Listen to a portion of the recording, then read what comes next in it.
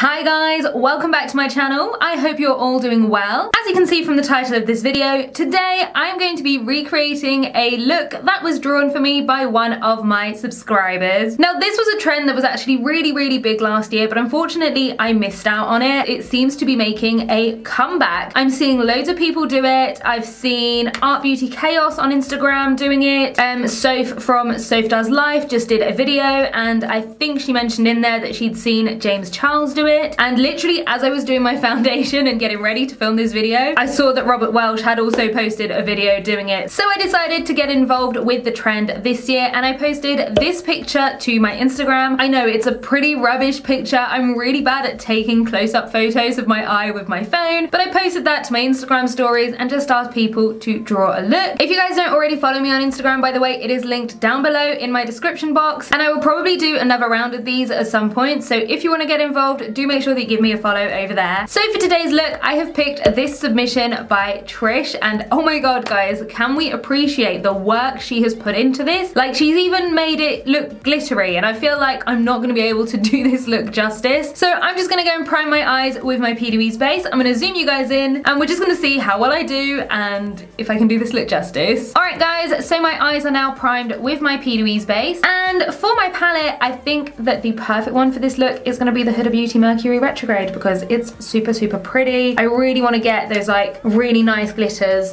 that Trish captured in the drawing. It helps if I actually bring up the drawing on my phone before starting to film, but I'm just not organized enough for that. She's gone for very, very light shades in the crease. So I'm gonna start off with the shade Karma on a Zoeva 231. And I have to say, I love how she's placed that cut crease right in my crease. And if I had the eyelids to do that, that is exactly what I would do. But my brow bone droops down too much, unfortunately. So I'm just gonna have to adapt that slightly. And I think we're gonna make that really, really rounded today. I do like that nice round shape with a winged liner.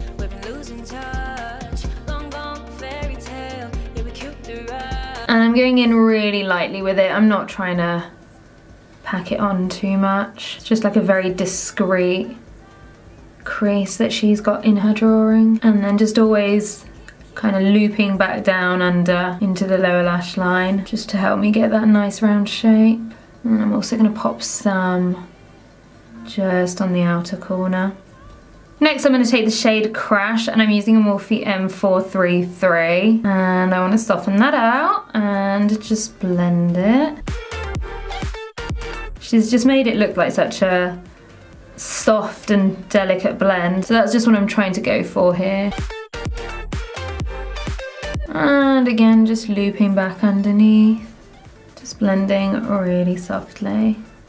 And then I'm going to take the shade Momentum on a nice big blending brush. This is a Morphe M441. And I'm going to use that to really finish diffusing that.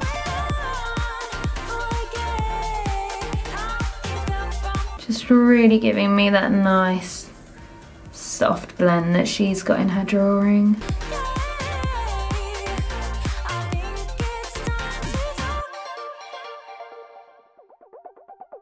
Do think this palette is really great for these really soft looks, especially if you're as pale as me. It's just kind of barely there, so I do think it's a good everyday palette, just a bit of an expensive one. But for me, that's what these uh, matte shades are quite nice for. Okay, I don't feel the need to go back over those shades. They're really soft, you know, I don't feel the need to deepen them up. But what I am gonna do is just quickly take them on the lower lash lines, just from darkest to lightest. Even though it looks like she's only got the liner on the lower lash line, I just kind of want to give it a bit of a base. And I'm gonna stop right at the tear duct, not go any further. Okay, great. So the next step is to move on into a nice sparkly cut crease. So I'm just gonna go in with my Jouer concealer first to define the shape of the cut crease. So I just trace it on with my eye open and I'm gonna be going all the way, which I don't normally do, but that's what she's gone for. So let's try it out.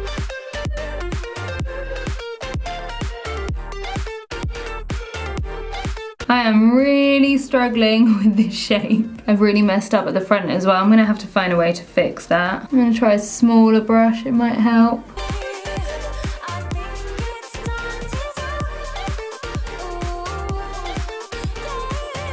Okay, right, I think I've managed. I haven't quite taken it all the way, but almost. I think I am just gonna blend it into the shadow a little bit here. So now I'm just gonna clean that up with micellar water. This concealer is super thick, so this may not have been the best idea. But hey, you just don't find out until you try, do you? And now I'm just gonna fill that in using my Mica Beauty Cosmetics eyeshadow primer. And then I'm just gonna take a bit more of Karma and blend out that edge down here. Okay, so I think the perfect lid shade for this is gonna be Galaxy, which is super, super pretty. So before I go in with that, I'm just gonna start with some NYX Glitter Primer all over the lid. So just on top of that eyeshadow primer. Oh, I've gone in with way too much. I'm gonna pat it out. I just really want the glitter to pop as much as possible. And now I'm gonna pick up the shade Galaxy on a Zoeva 2 three, one. And guys, I've actually hit pan on this eyeshadow, which is not something that happens to me very often. This is very, very sad. And then just to make it more glittery, I'm just gonna take Supermoon with the same brush and just pop that on top. And as you can see, it's pretty chunky, so be careful with that. And I'm also going to use Supermoon on the inner corner. So I'm going to pop on some NYX Glitter Primer and then pop Supermoon on top. Alright, so next up is the liner details, but I think before doing that, I am just going to finish off the rest of the face. I'm going to go into my Makeup Obsession a Pinky Promise palette. I used to use this all the time, but I feel like I haven't all that much lately. I'm just going to take the shade Whisper, just on this big iconic London brush, and just pop that on. I do have a liquid blush underneath as well, but I just want to deepen it up a bit. Oh, whoops. Okay, that is... Ah! oh god, okay. I'm just going to take some of my concealer back over that to uh, calm things down. Yeah, I didn't need that much blush. That was a little bit extreme. and then for my highlighter, I'm gonna use this one from I Heart Revolution. It's the Chocolate Elixir Glow. I quite fancy something pink still and something glittery to tie it back into the eyes. So I'm just using both shades. I think the theme of today's makeup might just be skin texture. It's not looking super good right now. It's one of those times right now where I feel like I look like a human cupcake because I've got way too much blush on. Oh wow. Okay, so let's move on to these liner details. I'm just trying to pick out which colors I need. So I'm definitely gonna use polka dot, I think, um, and then orchid. And there's two purples, like a more kind of pinky purpley one, I guess, and a more bluey one. I might try Blue Ocean and mixing it in with Orchid. I've never really tried mixing in these liners, so I don't know how that's gonna go, but we're just it. I'm gonna start with the cut crease itself, so that's gonna be polka dot on a nice small liner brush. Let's see.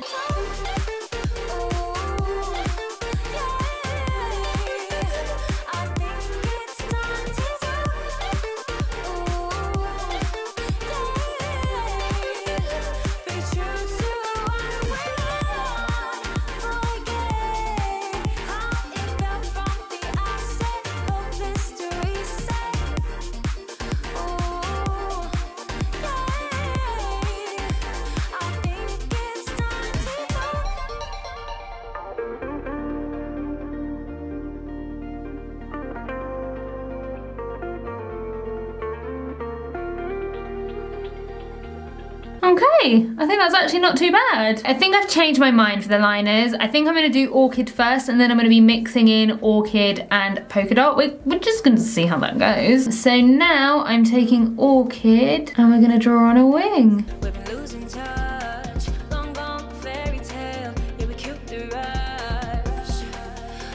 I'm just gonna thicken it slightly.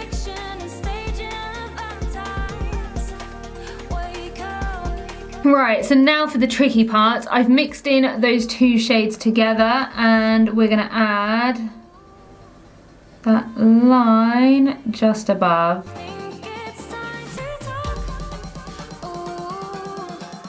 Okay, I went way too thick on the inner corner, but that's fine. I can always just go back with the other colour. But that's not too bad. I maybe don't feel like it's created quite as much of a different shade as I would have hoped for but it works. I'm just gonna go back in with my previous brush and Orchid just to neaten the whole thing up.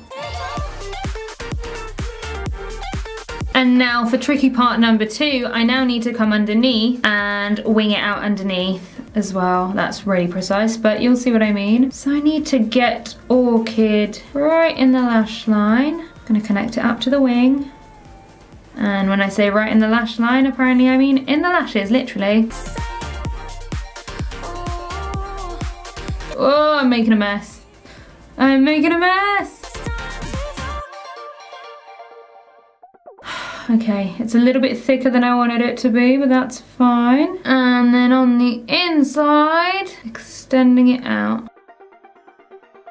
Oh, I've really messed up. It's like all in my creases. I'm gonna clean that up off camera. I think it will just be easier. I'm just gonna pop the Beauty Bay eyeliner in the shade Aurora on my waterline.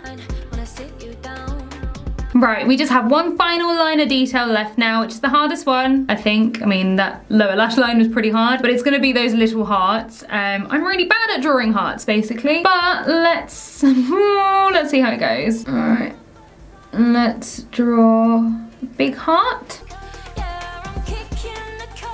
Oh my god, that's probably actually one of the most successful hearts I've ever drawn in my entire life. Try and make it a bit neater, we make it worse in the process. Okay, that's not bad. I'm not gonna do it on the other side, I'm just doing it on this side. We're just gonna have a smaller heart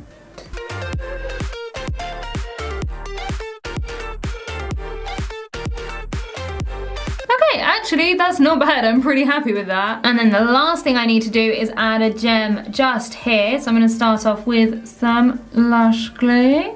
I'm gonna go for the smallest size. And that is it. All right, there we go. Not quite as sparkly as the original. Might just make it look a bit more sparkly when I'm editing the photo. But that is it for the look. I just need to pop on my lashes as always, do my brows, and I'll do my lips off camera as well. And then we'll see how everything looks once it's all finished because I'm not feeling 100% sure about it right now, but things always look better with lashes on. So I'm just gonna go and do that and I'll be right back. All right guys, here is the finished look. Let me know, what are we thinking? Did I do Trish's drawing justice? That's the most important thing here. I definitely like it better with the lashes on just because it's kind of counterbalancing all the pastels. I think because I just have such like gigantic eyeballs that when I just have pastels on the eyes, it's just like, making them even bigger. It's just not a look. But now I've got the lashes on, I do like it a lot better. But I have to say, Trish, I think I do like your drawing a lot better than I like my attempt at reproducing it. I don't know, it just doesn't have the same cuteness factor. Like your drawing was just so, so, so good. And I feel like I haven't quite captured that, so I am sorry, but I do really, really hope that you like it. As I said earlier, guys, if you do want to get involved the next time that I ask people to draw my makeup, do make sure that you're following me over on my Instagram, which is linked down below. And as always, if you enjoyed the video, then do make make sure that you give it a big thumbs up. Leave me a comment letting me know what you thought of it. And if you haven't already, then please make sure that you hit the subscribe button as well as the notification bell so that you don't miss out on any of my future videos. And I'll see you all on the next one. Bye guys!